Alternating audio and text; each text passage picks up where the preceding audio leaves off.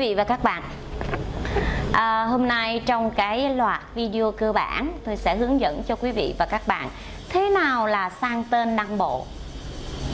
Thực ra thì chỉ có một số anh chị em làm cái à, nghề mua bán nhà đất Thì à, sẽ biết được thế nào là sang tên đăng bộ. Còn một số thì à, lại không biết thế nào là sang tên đăng bộ là cái gì.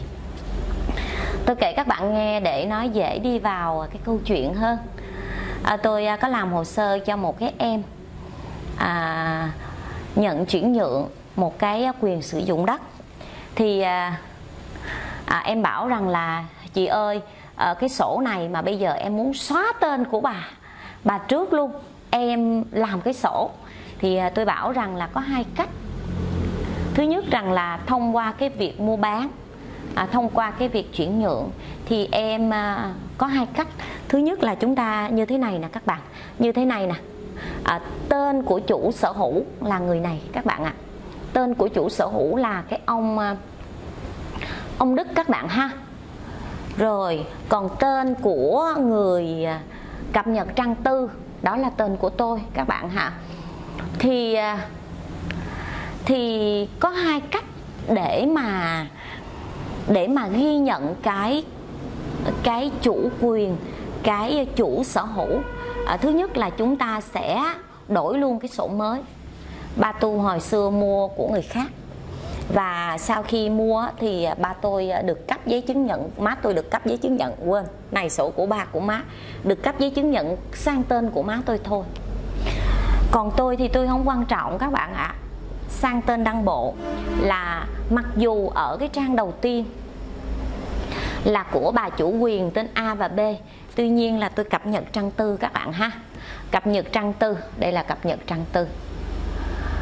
Cập nhật trang tư qua tên của à, bà Thu thông qua cái hợp đồng chuyển nhượng.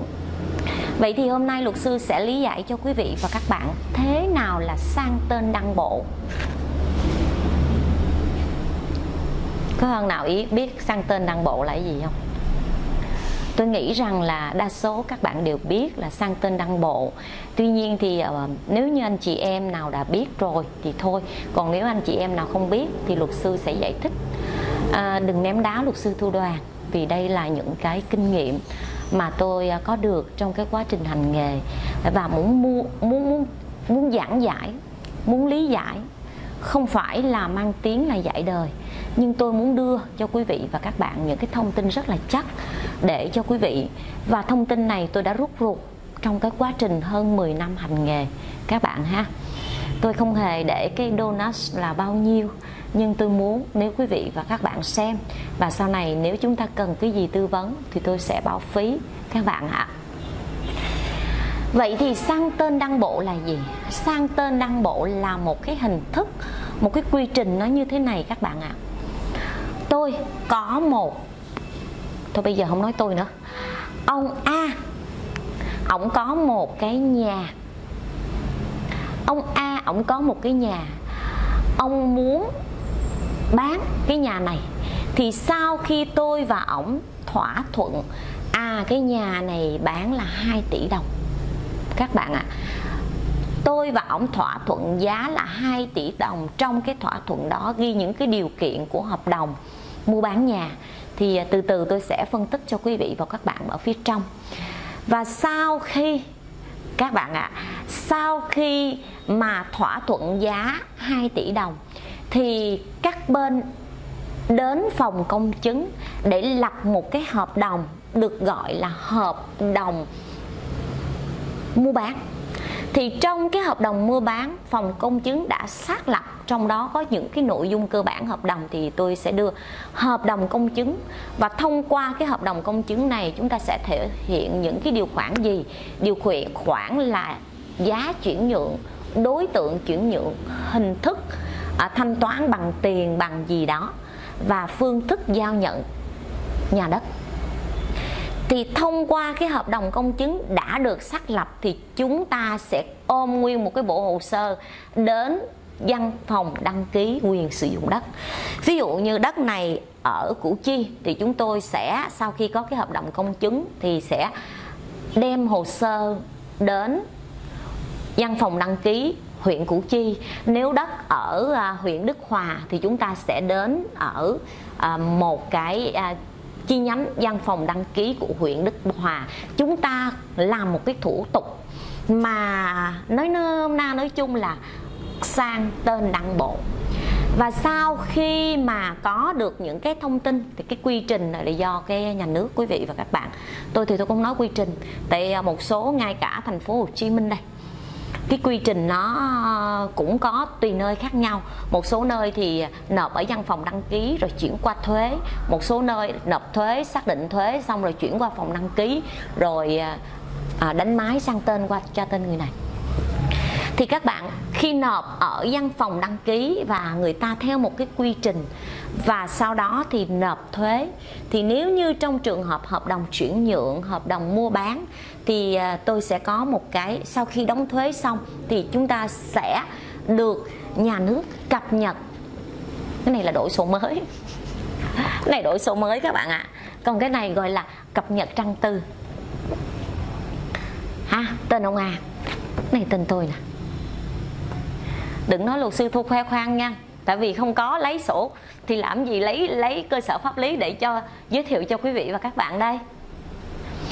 Vậy thì sang tên đăng bộ là một cái quy trình mà trong đó chuyển từ tên của người bán sang tên của một người mua thông qua cái hợp đồng chuyển nhượng, thông qua một cái hợp đồng mua bán qua văn phòng đăng ký và đóng thuế, cập nhật trên giấy chứng nhận quyền sử dụng đất, có thể đổi sổ hoặc cập nhật trang tư.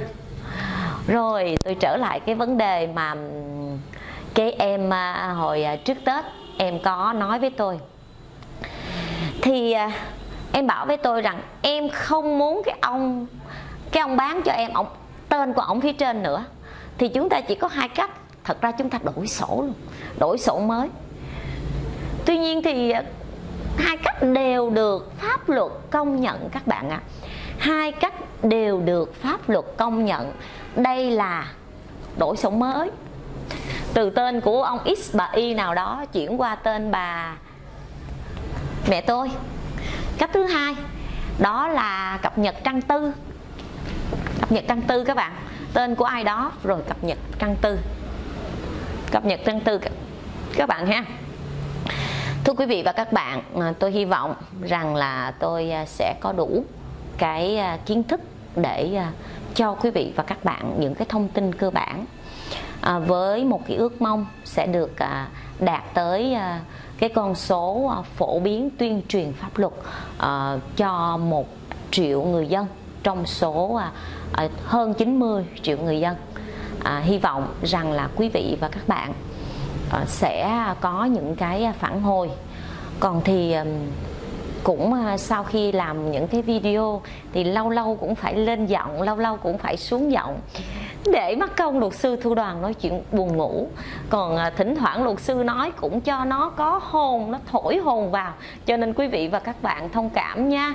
Nếu ai đó không thích và video của luật sư thu thì chúng ta hãy xem hoặc là cập nhật bằng cái ờ, uh, chị Google. Còn nếu như trong trường hợp các bạn xem những cái video của luật sư thu mà các bạn không đồng ý bà này bà điệu quá à, bà này bà nói không đúng bản chất bà này bà nói không đúng thì chúng ta hãy uh, cố gắng uh, không để lại cái comment tiêu cực. Vì như vậy luật sư thu sẽ buồn lắm.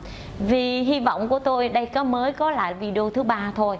Tôi còn còn còn còn bao nhiêu? Còn 96 video nữa để tặng cho quý vị và các bạn. Chờ đi để quý vị và các bạn luật sư thu làm hết 99 video rồi bắt đầu lúc đó mới comment tiêu cực nha. Cảm ơn tất cả quý ông bà anh chị em. À, thực tế thì um, tôi không có những cái kỹ năng. Và tôi cũng không được đào tạo bài bản để giải thích những cái thuật ngữ đây là những cái kinh nghiệm thực tiễn của luật sư thu đoàn. Hy vọng các bạn sẽ đón nhận như một món quà. Cảm ơn quý vị và các bạn.